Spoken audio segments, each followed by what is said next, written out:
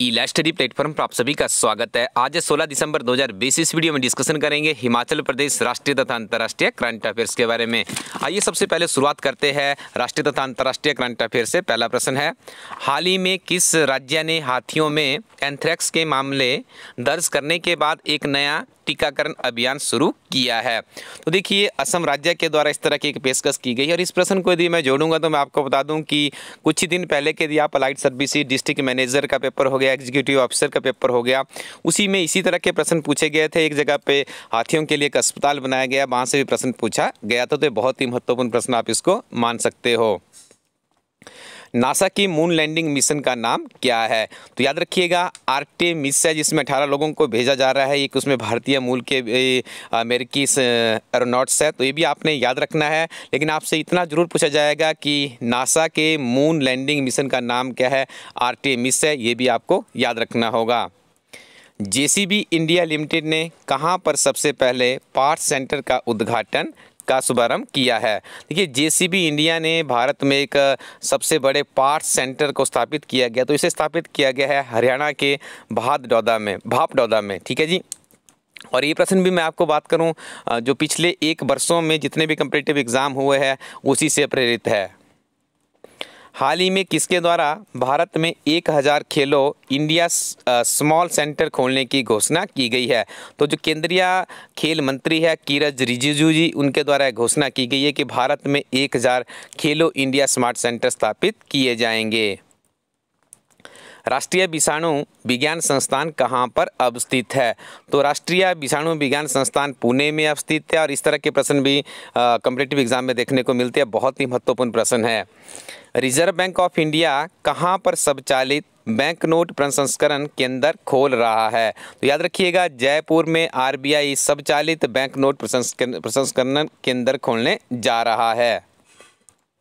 दी Shaurya अनबाउंटेड unbound नामक पुस्तक के लेखक कौन है? तो देखिए, पुस्तक का नाम है द सौर्य अनबाउंड इसे लिखा गया है नीतू और डीआईजी सीआरपीएफ और बी एम दिनाकरन ठीक है जी, ये नाम आपने याद रखने नीतू है जो कि डीआईजी सीआरपीएफ है और बी एम दिनाकरन है।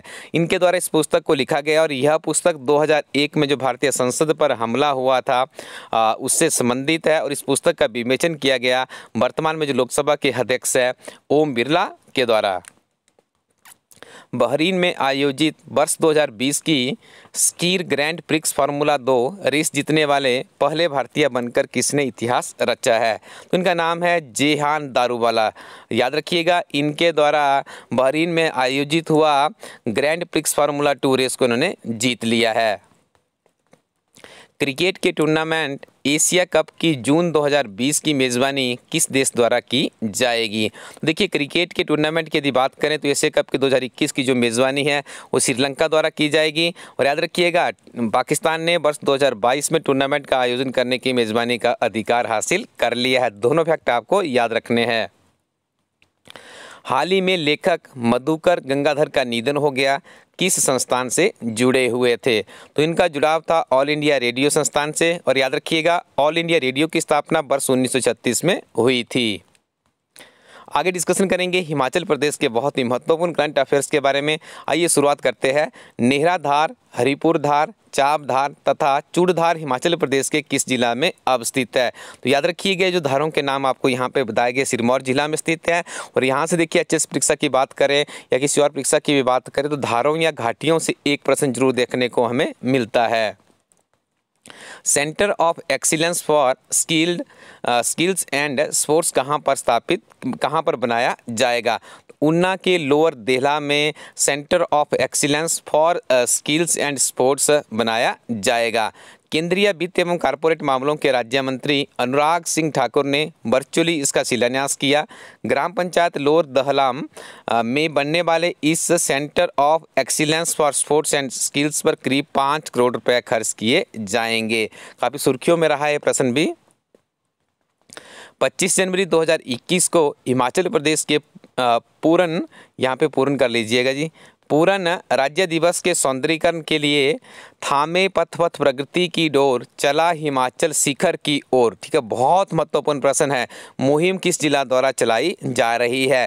तो जिला कांगड़ा के द्वारा इस मुहिम को चलाया जा रहा है, क्योंकि आपको पता है, हिमाचल प्रदेश का उस दिन पूर्ण स्वतंत्रता दिवस डे सेलिब्रेट किया जाएगा और डिफरेंट तरह की जो डोर है डोर नहीं, जो जितने भी वॉल्स है, जो दीवारें हैं, उनके ऊपर इस तरह की पेंटिंग आपको देखने को मिल रही है। तो कांगड़ा जिला का जो मिशन, इसके लिए छेड़ा गया है।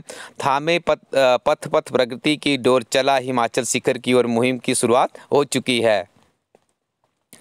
मंडी जिला में कहाँ पर अटल आदर्श विद्यालय खोला जाएगा? तो करसोग में इसे खोलने की स्थापना है सरकार की, इसे भी आप याद रखिएगा।